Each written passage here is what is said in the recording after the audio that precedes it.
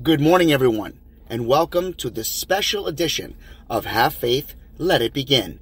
My name is Angel Santana, and you know, we've been on the air since 2018. That's right, June 16, 2018. The show designed for a daily commuter went live. It's a weekly show all about faith. A show with motivational topics, inspirational stories, and personal testimony set out to change the world. Well, none of this could be possible without one individual my mom. My mother is my best friend. My mom is the person that gave birth to me. My mom presented me to the Lord. My mom has introduced me to the Lord. And I have been blessed to be her son for 45 years. With that being said, I am also honored and blessed to have a wife who is my the mother of my children. My wife continues to inspire me each and every day. She strengthens me, and I, I hope to say I can strengthen her on the good days and the bad. So today we're going to air uh, a message that I did a couple years ago that actually put us on the map because Ellen DeGeneres, Oprah Winfrey, all liked this episode, and it is called A Mother's Love. So may God be with you all May he shine his light upon you and grant each and every single one of you peace on earth. Happy Mother's Day weekend, and I hope you'll enjoy this message. And never forget, have faith, let it begin. And it starts right now. Have faith, let it begin. Hello, everyone, and my name is Angel. Before I begin, this particular episode I would like to dedicate so I dedicate this message to my mom. My mom went to church and presented me to the Lord. It was her dream that I was able to preach and do what I do now in spreading the word. And I'm forever grateful for her love and support. I ask all of you to just believe in your parents because my mom envisioned and believed that one day I'd be doing this. So hugs to her and hugs to every mom out there um, who believe in their children. Because this episode is entitled Mother's Day is Every Day. Today, I want to just welcome every single mom to this channel, every single parent to this channel. I would like to honor all mothers who have gone to be with the Lord and are watching down to, on all of us each and every day. Let's begin with the definition of the word mother. In the dictionary, it says a mother is a woman in a relation to a child or children to whom she has given birth to. Pretty straightforward, wouldn't you agree? It's not a flattering, though, or honorable definition. Always believe that. See, today we're going to actually rewrite the definition and we're going to set this record straight. See, together we're going to use scripture and examples of just how important it is to be a mother. And I'm going to do it from a child's point of view. So let's face facts. Mothers have an incredible job. It is a job of no pay. No position in the business world compares to the physical, emotional, and spiritual commitment when it comes to motherhood. A mother doesn't take a course or preliminary test on how to prepare for such an important role.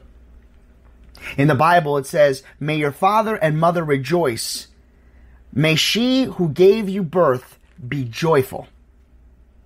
A mother's job begins from the moment we are born. She is the first person who ever touched you. She kept us in her womb for months. And when we came out, her first priority was to hold you. And then she cuddled with you. She stroked your head. She rubbed your feet. She held your little cheeks against hers.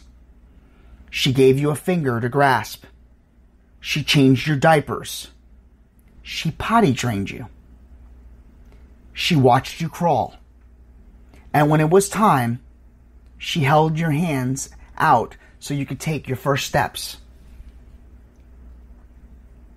She held the Kleenex for you to blow your nose. She wiped food off your faces. She rocked you back and forth until you fell asleep. She consistently touched you. She told you that she loved you. When you were little, she could say, Give me a kiss. I've even heard mothers and grandmothers say the, the, the current expression, Come and give me some sugar. And you'd pucker up and you'd even give her a kiss, even if your mouth was full of food and just saliva, just a sloppy kiss. And they would even say, Thank you. When you were little, you gave her a bear hug so tight she didn't have to hold on to you. You just cling on to her as she walked around.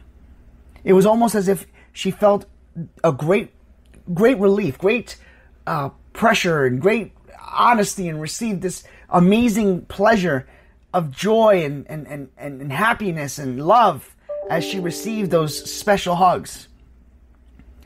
When I speak of bear hugs and hugs in general, you know, I can't help but remember being young and in elementary school. And when I talk about hugs, that part reminds me of my mom. You know, growing up, I always w- was a mama's boy. I really was, especially during uh, grades kindergarten through fifth grade. As I attended my uh, local elementary school, my mom was a crossing guard, as you heard in you know recent episodes.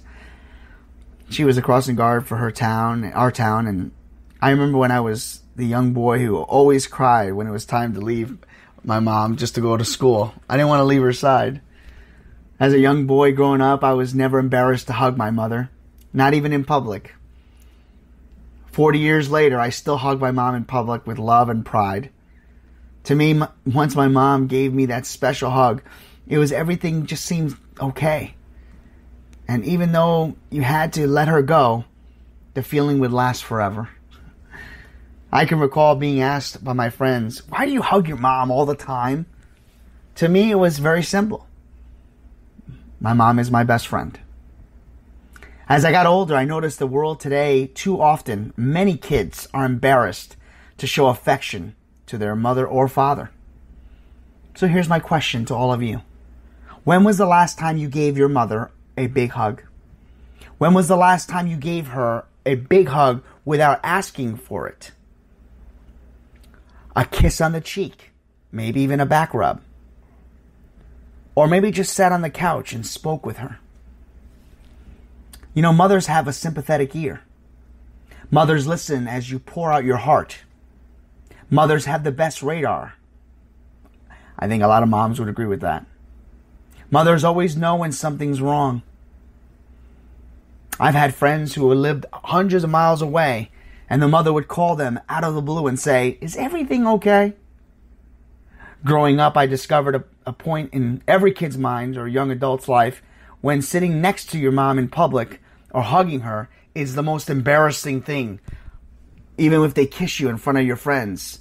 It's like a pretty much of a, of a social nightmare. No, no, no, mom, don't kiss me, don't kiss me. Remember, the day a child is born, so is a mother. The woman was always there, but it wasn't until the second the little baby boy or girl was born that a mother was born. A mother and her child have a, a special bond that only they can understand. You know, you could fool most of your moms, or most of your friends, I should say, most of the time.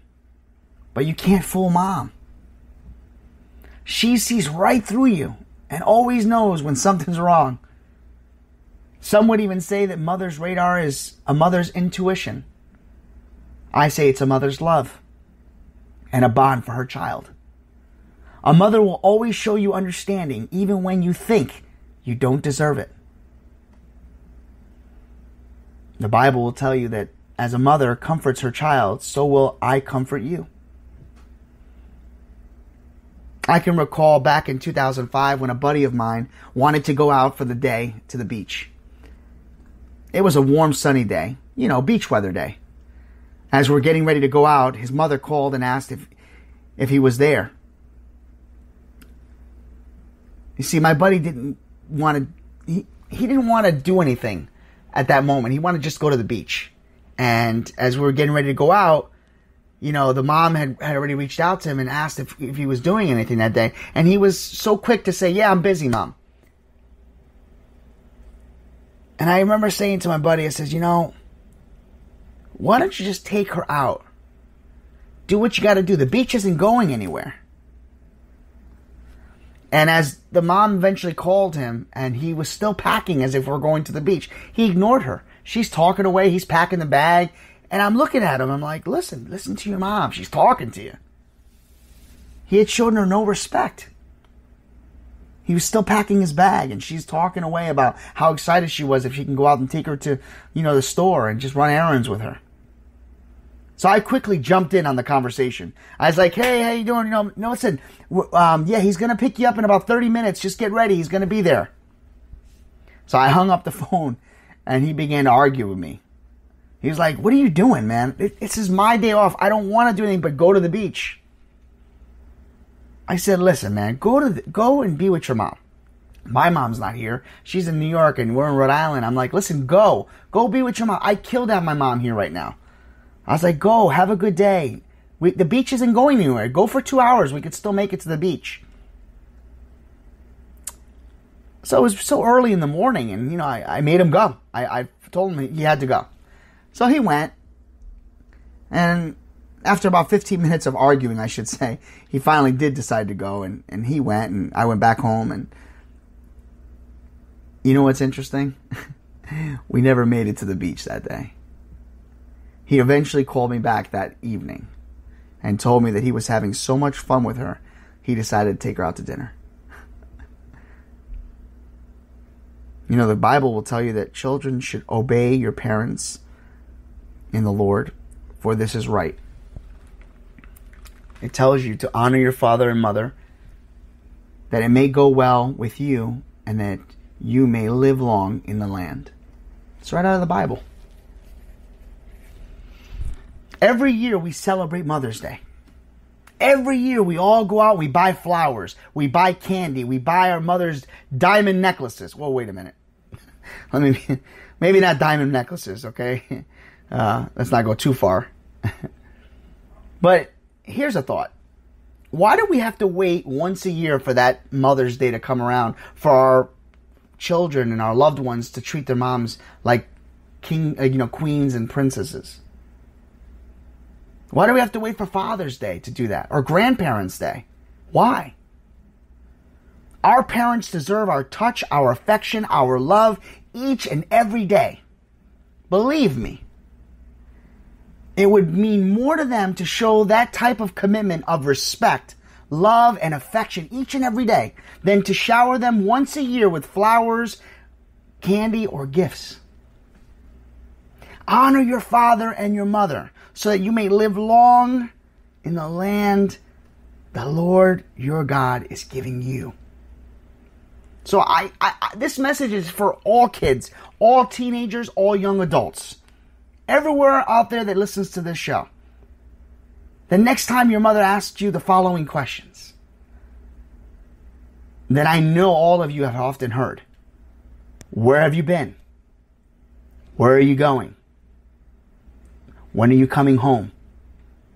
Did you clean your room? Did you make your bed? Did you do your homework?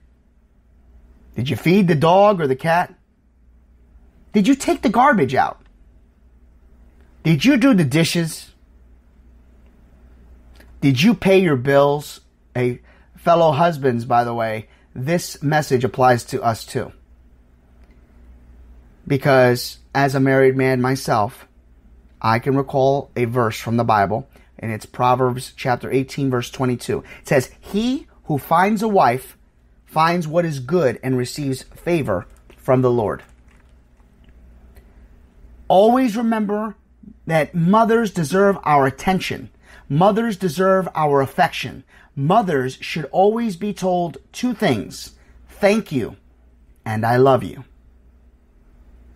Ladies, whether you're you have children of your own or not, you can still have the heart of a mom. The heart of a mom is one that encourages, inspires, invests, in the lives of others. It is a heart that nurtures and influences people with love and tenderness. We all have the opportunities to influence and inspire others. You know, we all have the opportunity to dis- deposit um, words of faith and encouragement into our, each other's hearts. We can be an example of love and faith because there's nothing on earth like the treasure of a mother's heart. To all mothers who have invested so much into their lives of their children, may you be blessed, may you be strengthened and empowered by the Holy Spirit. May you know that the greatest of the gift that you are to this world. And con- let me just conclude by saying this. You know, I leave everyone with what my mom always tells me. You know, my mom always, since I was a kid, says to me, Angel, you know, when you were born, all the angels came from heaven. Do you know why? Because you're special. Moms always have a certain thing they say to you. So if there's a thing that your mom says to you or grandparent that raised you and any of those, remember what they said to you. So my definition of mother comes out of the Bible. Because when I hear the word mother, I think of Corinthians chapter 13. And it goes just like this if you've never heard it. Love is patient. Love is kind. It does not envy. It does not boast. It is not proud. It does not dishonor others. It is not self seeking. It is not easily angered. It keeps no record of wrongs. Love does not delight in evil, but rejoices with the truth. It always protects, always hopes, always perseveres. That is what a mother is all about.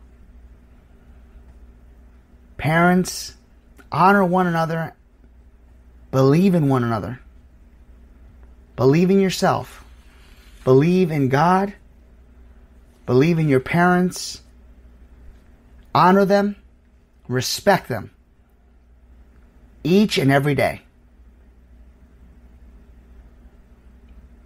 Remember that a mother's smile can brighten any moment. A mother's hugs put joy in all of our days.